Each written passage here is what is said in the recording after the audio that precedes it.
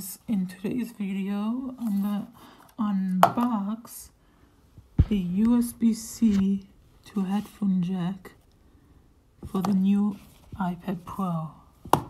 Let's begin. I bought this today. I just got it when I went to the Apple store because I needed one for my headphones and stuff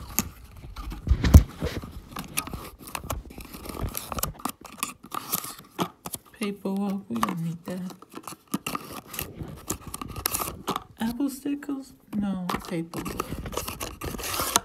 And here it is.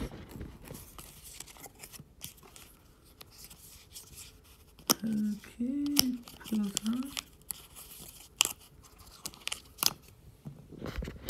It looks like an iPhone one that comes with the iPhone. I don't know why it doesn't come with the iPad, but doesn't matter. Just plugs into the USB-C and then you got a headphone jack because the new iPad Pro does not have a headphone jack.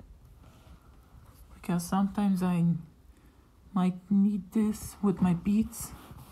I have beats. So yeah. That's the video.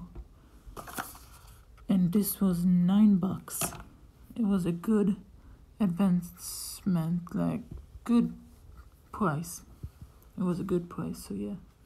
If you enjoyed don't forget to hit the like button smash that subscribe button and peace out